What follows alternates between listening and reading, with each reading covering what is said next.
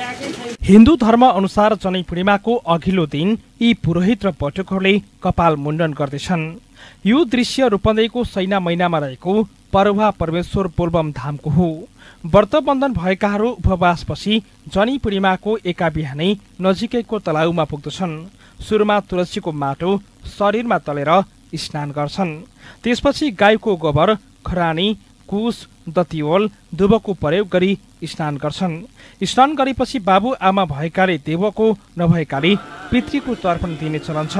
त्यसपछि सूर्यलाई अर्घ दिएर विधिवत पूजा आजा सुरु गरिन्छ।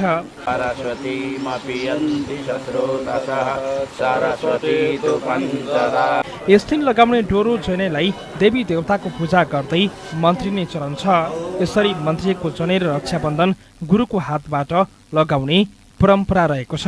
हिजसबाट नै हामीले क्षौर कर्म अर्थात् कपाल खौरेर शुद्ध पवित्र कपडा लगाएर बिहानै गङ्गा काली र काली माताले स्नान गरेको कुण्डमा गएर दस प्रकारका सामग्रीले गोबरले भस्मले अमलाको माटाले तुलसीको माटाले अपमार्ग जस्ता उसका जलहरूले हामीले स्नान गरेर गङ्गाको पूजा गङ्गाको तर्पण पश्चात गङ्गा जललाई ल्याएर यज्ञ मण्डपमा हामीले सप्तऋषि सहित अरुन्धतीको पूजा गरेर तर्पण मार्जन हवनका साथमा विधिवत रूपले जनैका छवटा धागा जुन छन् ती धागामा रहेका प्रत्येक नौ नौवटा देवताको हामीले पूजा गऱ्यौँ।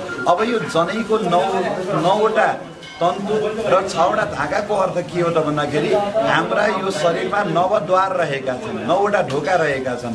यी नौ ढोकाका प्रतीकका रूपमा ती नौ तन्तुलाई लिन्छ भने छवटा धागोलाई विशेष गरी हामीले हाम्रा मावलतर्फका तिन तिन कुल र घरतर्फका तिन कुल गरी हामीले विशेष गरी यो छवटा कुलको उद्धारको लागि हामीले जीवनमा कर्म गर्नुपर्छ। पितृ ऋण देव ऋण मनुष्य ऋण देशको ऋण हामीले शरीरमा धारण गरेका छौँ। यो कर्तव्य हामीले निभाउनु पर्दछ भनेर जनैले विशेष गरी हामीलाई यो सङ्केत गर्दछ। परुवा धाममा पढ्दै गरेका बटुकहरू पनि गुरुहरूसँगै बसेर वैदिक विधिबाट जनै पूर्णिमा पर्व मनाउन सिक्दै थिए। आफूहरूले किताबमा पढेका कुरालाई व्यवहारमा उतार्न पाउँदा उनीहरू पनि खुसी देखिन्थे। घरमा हुँदाखेरि विधि नविधिपूर्वक गर्थ्यौँ। तर आज आजकल हामी गुरुकुलमा आयौँ। अनि गुरुजीहरूले सिकाउनु भयो विधिपूर्वक गर्न जनपुरमा चार बजे उठ्यौँ नदीमा गयौँ स्नान गऱ्यौँ अनि भस्म धारण गऱ्यौँ। अनि त्यसो फेरि अनि भस्म धारण गऱ्यौँ। अनि मन्दिरमा आयौँ जनेहरूको पूजा गऱ्यौँ जनलाई पवित्र गऱ्यौँ। अनि त्यसपछि आयौँ। आयौँ अनि विधिपूर्वक जनै धारण गऱ्यौँ। हिन्दू धर्मका वैदिक ग्रन्थ अनुसार जनैलाई ब्रह्मसूत्र भनिन्छ। वेदको अध्ययन गर्ने अधिकार प्राप्तिका लागि धारण गर्ने मन्त्रीको धागो भनेर जनैलाई बुझिन्छ।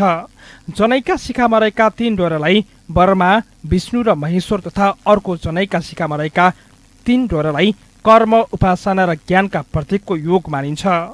तागाधारीले गुरु पुरोहितले विधिपूर्वक मन्त्रीको डोरो धारण गरेमा नकारात्मक तत्वबाट सुरक्षा प्राप्त हुने धार्मिक विश्वास छ।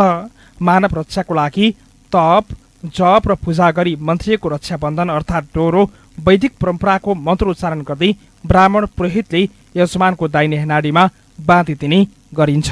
आज रक्षाबन्धन डोरो बाँध्नाले एन बद्धो बलि राजा दानवेन्द्रो महाबल तेन त्वम प्रतिबदनामी रक्षा माचल माचल एक वर्षसम्म भगवान्ले रक्षा गर्नुहुन्छ इन्द्रादि गरिएका दस दिक्पालहरूको त्यहाँ पूजन भएको हुन्छ रक्षाबन्धनमा विधानमा एक वर्षसम्म हामीहरूले सबै दसैँ दिशाका इन्द्र वरुण कुबेर आदि दसैँ दिशाका अधिष्ठात्री देवताहरूको पूजा गर्छौँ। यो रक्षा बन्धन हातमा त्यो धागो डोरो बाँधेर हामी पूर्व पश्चिम उत्तर दक्षिण जुन दिशातिर गए पनि कहिल्यै पनि अमङ्गल हुँदैन। मङ्गलै मङ्गल हुन्छ। ती देवताहरू आएर पाखुरामा बसेका हुन्छन्। हाम्रा यी हातले जे काम गरे पनि हामी सफल हुन्छौँ। शनि पूर्णिमाको दिन बाँधिएको डोरोलाई गाई तिहारमा गाईको पुच्छरमा बाँध्ने चलन छ। पछिल्लो समय तराईका जिल्लाहरूमा बहिनीहरूले आफ्नो भाइको हातमा पवित्र धागो रक्षाबन्धन राखी बाँधेर टिका लगाएर मिठाई खुवाउने चलन पनि रहेको छ। बुद्ध टेलिभिजनको लागि ललित पाण्डे बुठोबल।